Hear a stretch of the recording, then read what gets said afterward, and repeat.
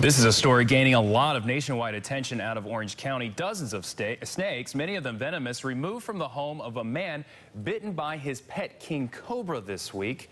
Out of those snakes removed, 18 of them are venomous. As CBS North Carolina's David Hurst found out, it hasn't been easy finding a temporary home for them. In the past, confiscated snakes would have been held here at the North Carolina Museum of Natural Sciences.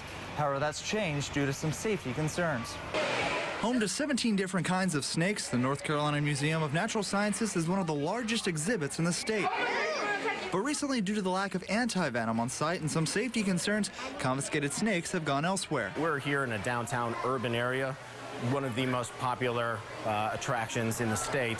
Um, so simply, this is probably not the best facility to be warehousing those animals. Authorities are still looking for a home for some of the venomous snakes confiscated, including a king cobra, the snake that bit 21-year-old Ali Ayoub. Copperheads are the only common venomous snake in the Triangle area. Ayoub, who CBS North Carolina interviewed last year, got most of his snakes through his work with the group Reptile Rescue Carolinas.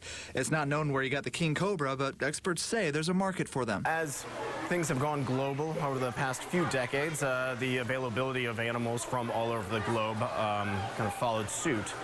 The museum has an agreement with a facility in South Carolina that's temporarily holding on to those venomous snakes.